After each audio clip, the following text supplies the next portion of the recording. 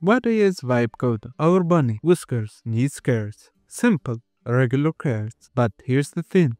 Sometimes he needs a small, crunchy carrot for a quick snack. Other times he needs a big, tender carrot for his famous stew recipe. For Whiskers, each specific type of regular needs is like a different product or application he wants to use. Now, traditionally, if Whiskers wanted that perfect tender stew carrot, he'd have to farm it specifically. Select tender variety seeds, prepare the soil just right, water it in a certain way, a whole specialized farming process. Same if he wanted an extra crunchy snack carrot different seeds, different care. That's like traditional code. To get an app, a carrot with specific qualities, you go through a whole tailored development cycle. It works, but a lot of effort for every single different type of carrot he needs. Then Whiskers finds the Quick Carrot Patch. This place is amazing. Run by Help Forgotten Butterflies, these butterflies are our AI tools like Lovable, Windsurf, or Bolt, and their ability to grow just the right carrot patch comes from a powerful LLM brain. Today, Whiskers needs a carrot for a salad. He tells the LLM powered butterflies, I need a regular carrot, please. The vibe is medium size,